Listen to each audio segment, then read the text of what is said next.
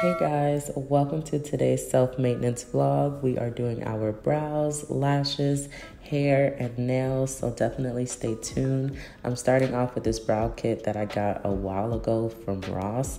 It came with two tweezers, a brow razor, and also brow scissors as well.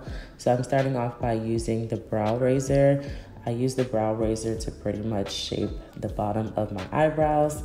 Now this razor was actually dull by this point because I got this kit so long ago. So it didn't really get rid of as much hair as I would have liked it to, but it did get rid of some of it. And so I'm gonna go in with my tweezer to really shape the bottom of my brow. So as you can see, I'm starting from the middle of my brow and working my way towards the end of my brow.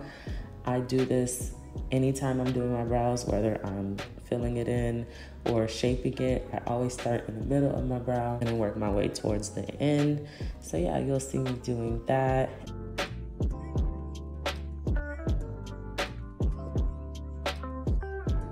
And then I'm also gonna take my brow brush to just brush my hair down.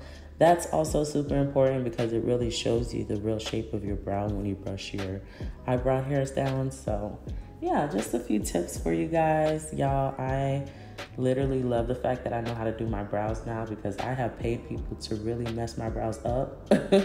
so I'm scarred, okay? So me learning how to do my brows has literally been the best thing ever because my brows stay on fleek now and I always love how they come out. So I took the scissors just to shape the top of my brow and I'm just taking my tweezers to really, really define the line.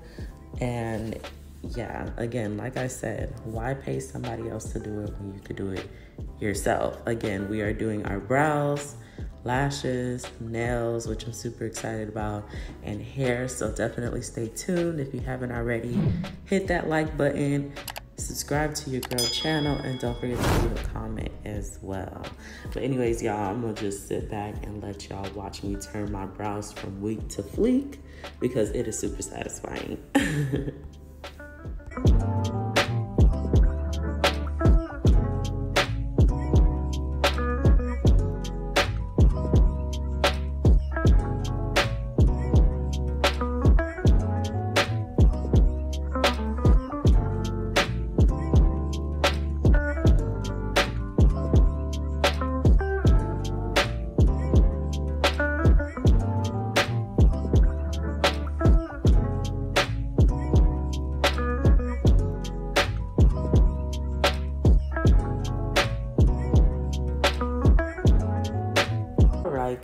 Now you see me, eyebrows on fleek. They came out so good. So now we are moving on to nails. I have this nail lamp. I believe this tool is a cuticle pusher. A nail filer. This is the nail glue that I'm using, and then these are the press on nails. So I am using this tool that I believe is a cuticle pusher to scrape off my nails and also push back my cuticles and then um, pretty much prep my nails for the set. So as you can see, I have some really small nail beds. Anytime I go get my nails done at the nail salon, they always either split in half or the nails don't last on my nails. So this is what really pushed me to learn how to do my own nails. But y'all, I'm about to put y'all onto a method that will help your nails last way longer, look super natural, and yeah, let's just get right into that. So the press-on nails actually did come with a cuticle pusher and a nail filer. I didn't know that. So if you don't have one yourself, the nail kit will come with that already.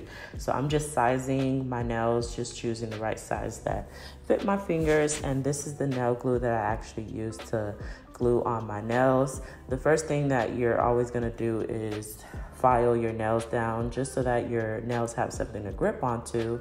And then you're gonna apply two coats of the nail glue that you see onto your nail or onto the fake nail. And then you're gonna go ahead and apply the fake nail onto your actual nail. So I repeated this process with every nail, of course, and then you put it under the lamp to cure for a minute. So, you guys, this is this was just genius. I don't know why I didn't think about this before. Now the Beetles nail kit is what I'm actually using here. So that's the lamp and the glue.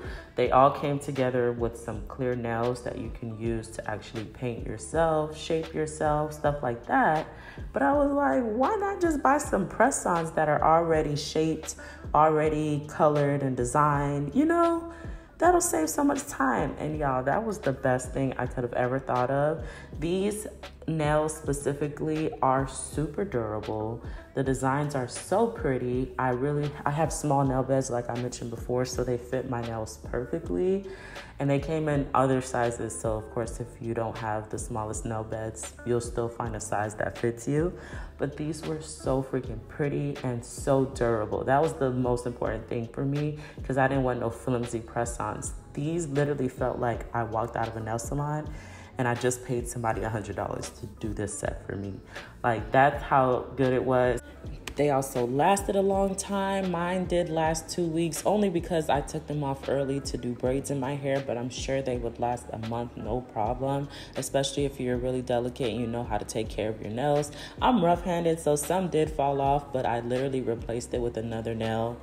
Two seconds, boom, full set all over again. Like, just genius, you guys. On top of that, these press ons were only $10 and the Beetles nail kit was only $20. And I've gotten about 15 sets out of that nail kit before I had to replace the glue. So that's why the glue was in a separate box because I did buy more glue, but I've had this kit for a year now, you guys.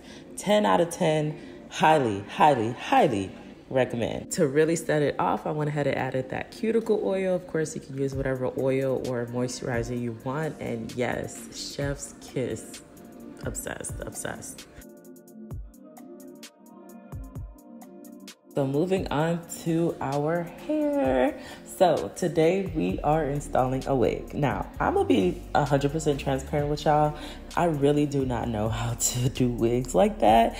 I've learned a lot throughout the years, but I'm still not at a level yet where I'm like 100% confident in installing a wig. But I know what I'm doing, but I know I have a lot of room for improvement. So I'll have a detailed video on how I do my wigs later down later on down the line when I get better at it. but today we are installing an old wig.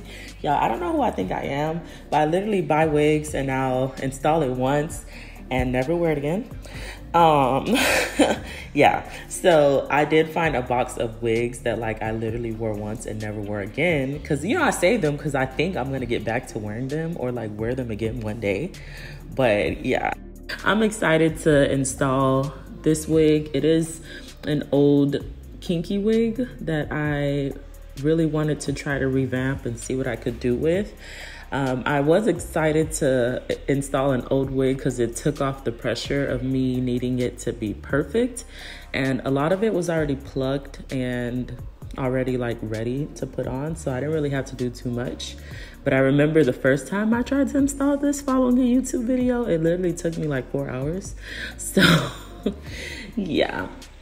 Again, I will have a detailed video of how I do my bald cap method and all that stuff in another video. So if y'all do happen to like the way it came out, um, let me know and I'll go ahead and drop a video of me installing a new wig that I bought.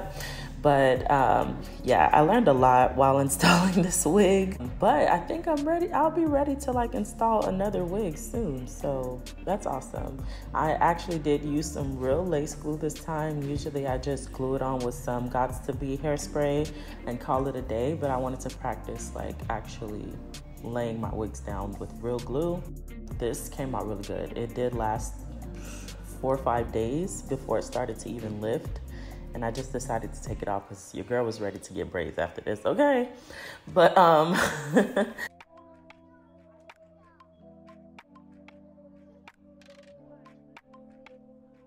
You've seen the process. I just pretty much laid down my cap with the Gots to Be spray. I sprayed the perimeter of my hair, then I cut the excess off. And then I went ahead and used my alcohol to wipe it down and clean it off. And now we're doing two layers of glue.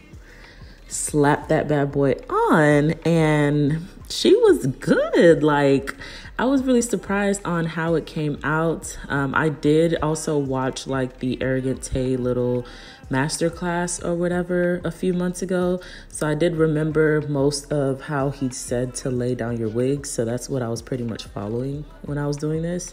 I wasn't following like a video or nothing, but like that's what I pretty much thought of throughout the process. So he pretty much taught you that when you lay that lace down, whatever part is not glued down needs to be cut off. So y'all would see me pretty much cutting and shaping the wig after I do that. But now, a brief intermission because we're about to go ahead and start our lashes. I thought it would be smart to do my lashes while I wait on the lace to melt. So these are the lashes that I'm using. They're the Delia or Delilah lashes. I'll also have them linked down in the description. And I got these from Amazon. They were $11. So this is how I do my own lashes. I usually use the Ardell glue, but I went back to my roots and I went ahead and used some hair glue for this instead. So a trick that I use to make my lashes last longer and to really stick on, when I do dip the false lash into the glue, I like to swipe it upwards onto my natural lash. So that way my natural lash is like fully coated in the glue and I just place the lash on right after. So you'll see me doing that um, and that's why I'm like swiping it upwards before I lay it down. And I pretty much just lay it right under my eyes and repeat the process until they're all on. And it helps it last a lot longer. And yeah, like these, this set lasted me about five days. And the lashes are just so pretty. They look so natural. And yes, I'm just obsessed. I love these lashes so much.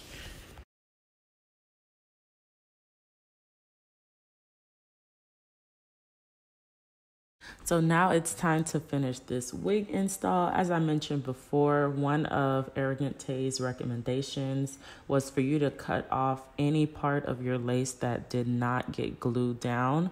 Um, and I definitely see why it helps it come out way more natural and it definitely helped it last longer by doing that as well um, no extra lifting stuff like that because i went ahead and just cut off all of the excess lace that wasn't glued down. And now you guys are about to see me attempt to revamp this wig. Okay.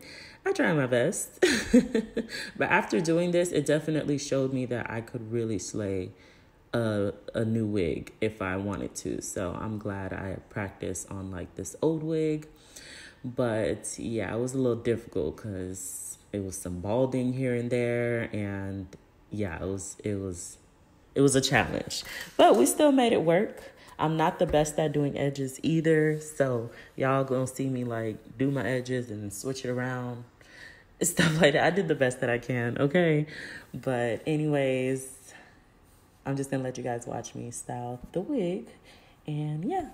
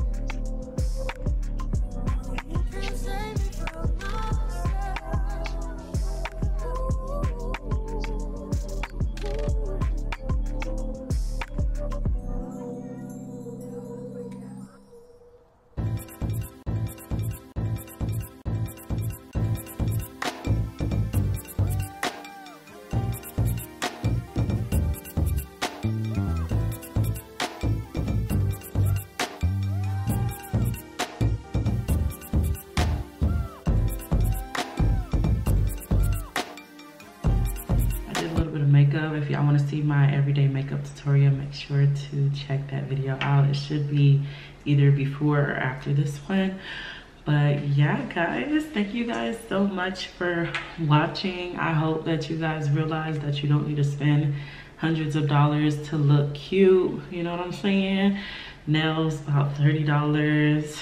Eyelashes 11 dollars. And i still got literally the whole rest of the pack left. I only used like two rows that's about a good five or six more sets and it's already been five days since I've had my nails on. Just a quick update about my nails. So um, two of them popped off and one broke in half.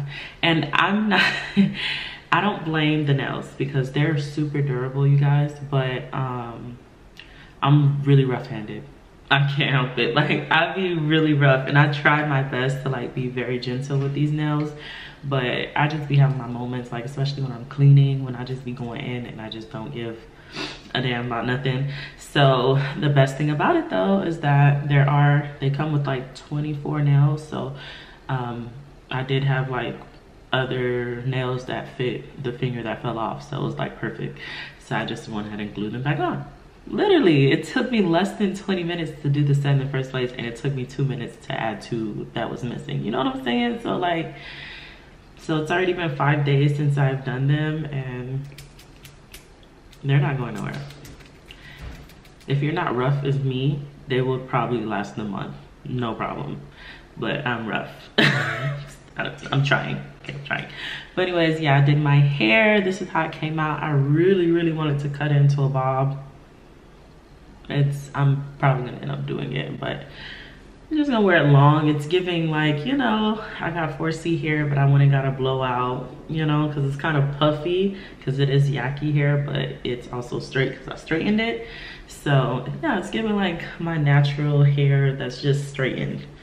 So I like it as it is for now, but definitely down the road, I'm gonna cut it into a bob because the ends are like kind of, I don't know, I think it'll look nice as a bob so yeah guys i hope you guys enjoyed the video. My lashes i've had on for three days already. Nothing fell off. It's just giving. Like i'm just happy that i know how to do all of this stuff myself and you guys can learn of course by watching my videos so make sure you like this video subscribe to my channel leave a comment down below it really helps my channel grow so if you haven't done that already at least like the video and subscribe if you have if you're too lazy to comment but if you do want to leave a comment that would be amazing but i appreciate you guys for watching if you got to the end of the video you're a real one yeah don't forget to like comment and subscribe i will definitely have way more videos like this probably of me doing skincare I like to do my own facials, pedicures, all that. I already did my feet, so I didn't do it in this video, but I will definitely have more videos coming up like this. So if you did enjoy this one, stay for a while, hit that subscribe button. And yeah, again, thanks so much for watching. I love you guys. Mwah.